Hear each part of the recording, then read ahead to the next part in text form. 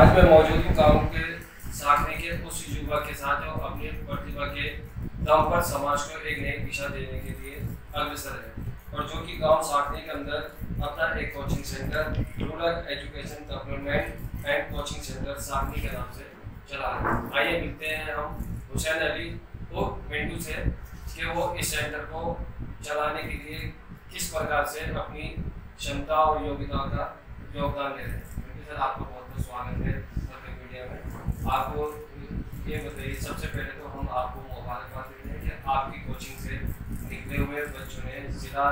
के अंदर टॉप किया और आठवीं रैंकिंग भी हासिल करी है और कुछ अपने आपके गाँव आले सर स्कूल के अंदर स्कूल भी टॉप किया है। पहले हम आपकी बहुत बहुत मुबारकबाद मीडिया की तरफ़ से। आपको देते हैं। अच्छा मिंटू जी, आप ये बताइए कि आपने इस कोचिंग सेंटर को कब शुरू किया? देखिए हमने ये कोचिंग सेंटर दिसंबर दो हज़ार सोलह के अंदर शुरू किया था उससे पहले गाँव के कुछ लोग यहाँ से करीब तीन किलोमीटर जगह कस्बा है कुछ गाँव के लड़के वहाँ पर चला है और काफ़ी परेशानियों का सामना कर रहे थे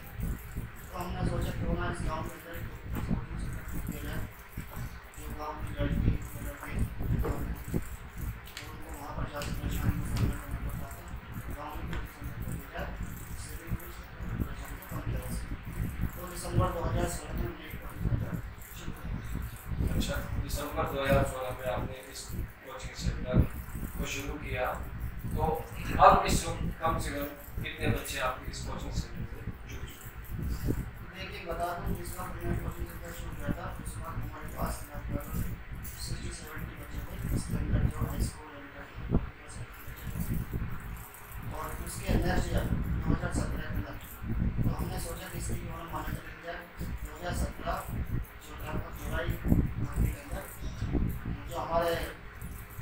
understand.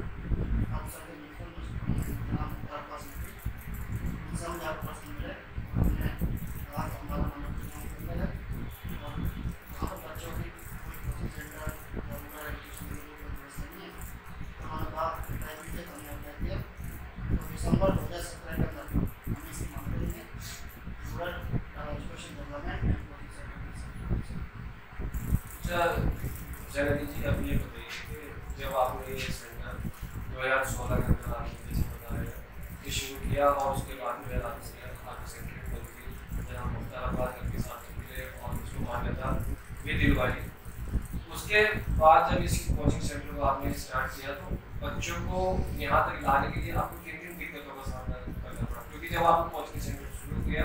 बच्चे एक साथ कोई इस सेंटर के अंदर आए होंगे तो उन बच्चों को आप यहाँ तक लाने के लिए उनको मोटिवेट करने के लिए आपने क्या ऐसे कदम उठाया कि जो बच्चे आपके सेंटर तक चले? कुछ बच्चे ऐसे जो हमसे पहले से जुड़े हुए तो हमारे बारे में पहले आए थे तो उनको कुछ मालूम था कुछ से बातें पढ़ पढ़ तो हमने पहले जो जानकर उनको थोड़ा और उनसे लाभ है उनके लिए वहाँ पे जाकर कोई और हमारी ये ज़िम्मेदारी है कि आपको अच्छे नंबर से पास करें तो उस वक्त पहला हमारा रिज़ल्ट आया दो हज़ार उन्नीस के अंदर दो हज़ार उन्नीस के अंदर मुंतजिम मेहदी एक लड़का है जो कि कंप्लीट करता है हमारे कोचिंग सेंटर में क्लास का हाई स्कूल में उसने टॉप टेन स्कूल के अंदर अच्छे नंबर पास किए थे उसके बाद बहुत बच्चे मोटिवेट कर बहुत बच्चे आना शुरू हुए और दो हज़ार उन्नीस के बाद जो दो हज़ार बीस इक्कीस बैच आया दो हज़ार उन्नीस बीस के बैच के अंदर जो हमारा एक लड़की ज्वाइन नाम किया है, उसने हमारा कोचिंग सेंटर नाम लगभग वो हमारे लगभग चार साल से ऊपर इस साल में ट्वेंटी का C B S E board से तो ये जो आपको अपना कोचिंग सेंटर चला है एजुकेशन रूरल एजुकेशन के नाम से आपने रखा तो इस सेंटर के अंदर किस तबके के बच्चे या कोई खास तबके के बच्चे आप पढ़ाते हैं? या जो जो, बच्चे यहाँ पर आते हैं उनके लिए आप कोई ऐसी फैसिलिटीज़ प्रोवाइड करते हैं कि जिसका लाभ उन बच्चों को मिल सके? देखिए हमारा मकसद है कि जो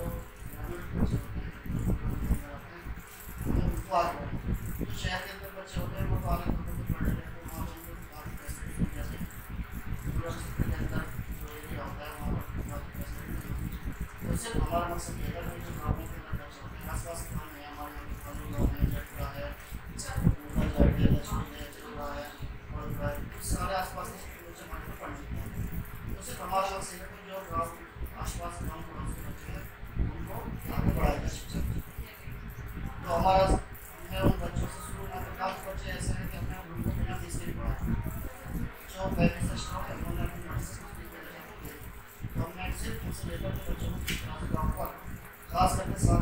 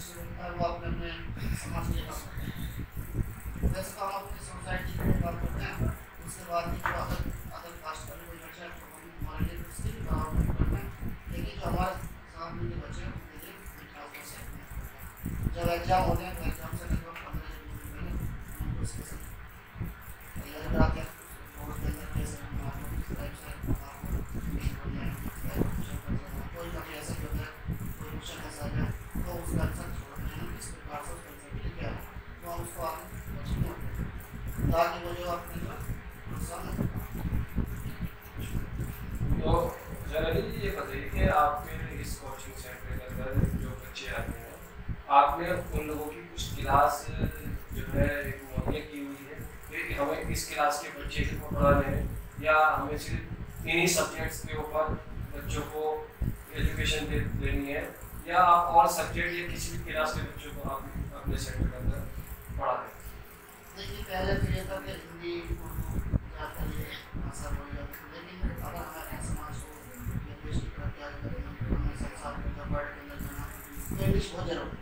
और खास करके गाँव सामने गाँव सामने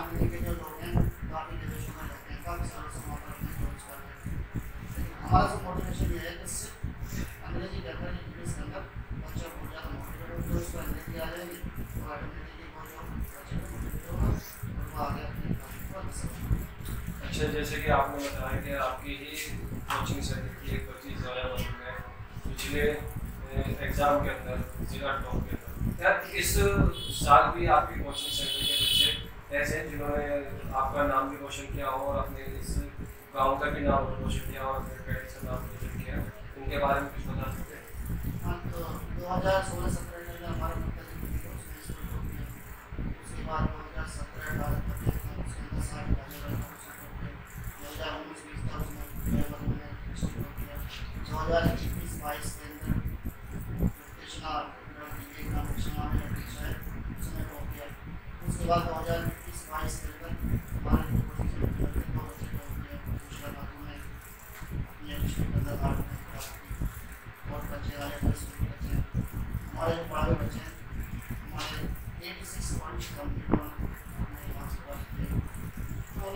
हर साल दो हज़ार सोलह से दो हज़ार बाईस तक ज़िले के अंदर अच्छा जब आपके कोचिंग सेंटर के अंदर ये बच्चे आते हैं तो आप सबसे पहले उनमें क्या ऐसा देखते हैं? क्या ऐसी स्किल्स आप डेवलप करने की कोशिश करते हैं? कि जिसकी वजह से वो अपने मार्क्स को और बेहतर तरीके से ला सके? जैसे कि आपने बताया कि आपके लगातार पाँच छः साल से बच्चे जो है, जिला टॉप भी कर रहे हैं, अपना स्कूल भी और आपकी यही कोशिश है कि आने वाले वक्त में भी बच्चे जो है, आपके स्कूल का आपका कोचिंग का, अपने स्कूल का नाम रोशन करें। तो वो कौन सी ऐसी चीज़ है, वो ऐसी कौन सी स्किल्स है जो आप बच्चे को सबसे पहले मोटिवेट करते हैं? आप उसको डेवलप करने की कोशिश करते हैं इसके सबसे पहले जो हमारे यहाँ बच्चे पढ़ने के लिए हम उसका बहुत से काम नहीं करते इसके टेस्ट लेते हैं हम ये देखते हैं कि बच्चे के अंदर कितनी एबिलिटी है कितनी क्वालिटी है बच्चा किस किस तरह से पढ़ सकता है जो हम देखते हैं कि बच्चे की कितनी एबिलिटी है हम उनको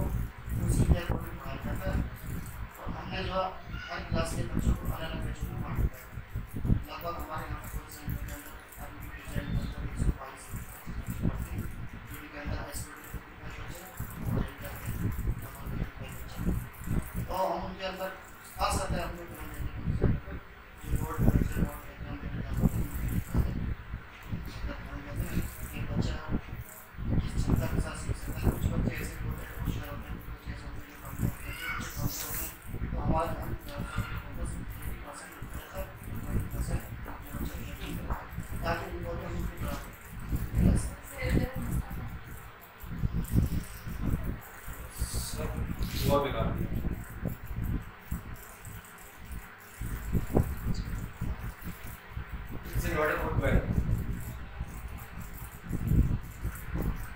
क्वेश्चन में चल पे चला था वो करेक्ट हो गया चलो इधर इधर प्लीज़ सर। तो जो बच्चे हमारे यहाँ पर कमज़ोर बच्चे आते हैं तो हमारा सर देता है बच्चों को काम है इस तरह से बच्चे स्ट्रॉन्ग होते हैं अपने के अंदर उनके ड्रामा होता है। अब जब डरता है तो जो बच्चे कमज़ोर होते हैं तो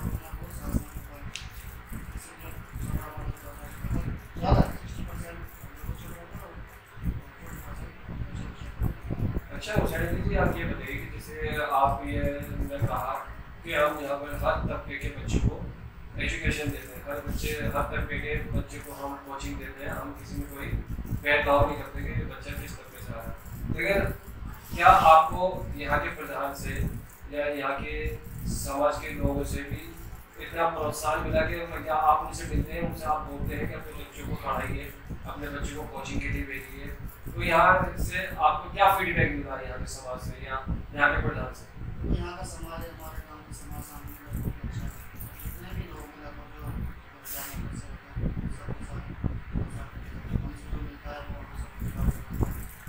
कभी ऐसा मौका है कि हमको ये देना पड़ता है हमारे बच्चे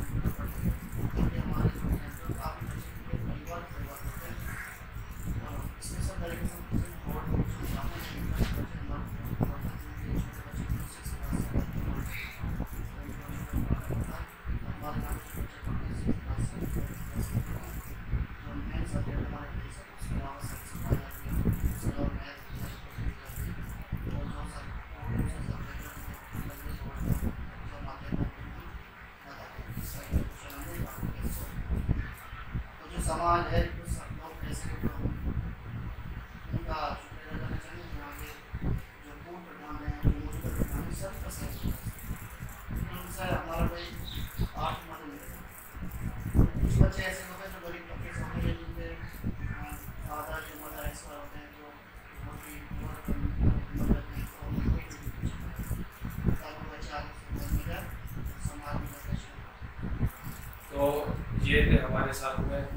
हुसैन अली वो मिंटू जी, जो कि ये बता रहे थे कि वो अपने कोचिंग सेंटर के अंदर हर तबके के, हर वर्ग के लोग बच्चों को कोचिंग देते हैं और जो बच्चे आर्थिक रूप से पिछड़े हुए हैं, जो आर्थिक स्थिति उनकी इस तरीके से नहीं है कि वो फ़ीस अदा कर सकते हो, उनको फ्री कोचिंग भी देते हैं। और कई सालों से इस